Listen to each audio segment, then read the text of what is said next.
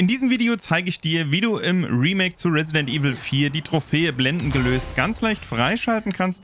Dafür brauchst du nämlich einfach nur eine Blendgranate und eine ganze Menge an Gegnern, so wie hier jetzt gezeigt.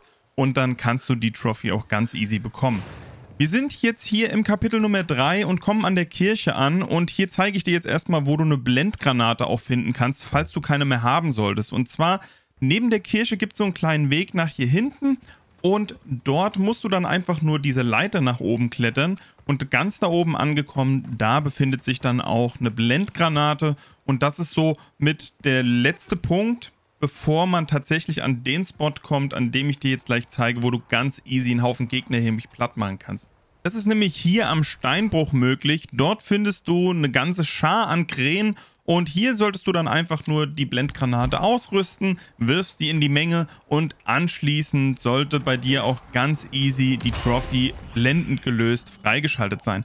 Ich hoffe, das Ganze hat dir weitergeholfen. Wenn du weitere nützliche Guides rund ums Resident Evil 4 Remake suchst, dann folg doch einfach hier dem Link. Also, hab vielen Dank, hau rein und mach's gut.